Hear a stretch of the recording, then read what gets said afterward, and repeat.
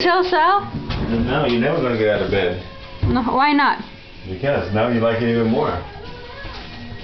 Fatti prendere le mani.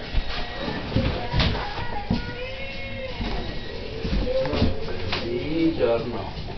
Richiamo, richiamo. So what do you what do you think, Sal? I like it. You do? It's nice. It's so lavenderish that you can actually smell it. You can actually smell the lavender.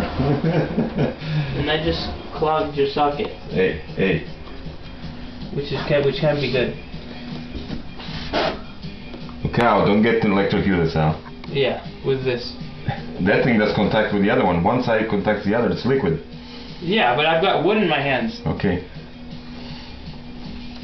Hi, Stacy. Hi. Okay.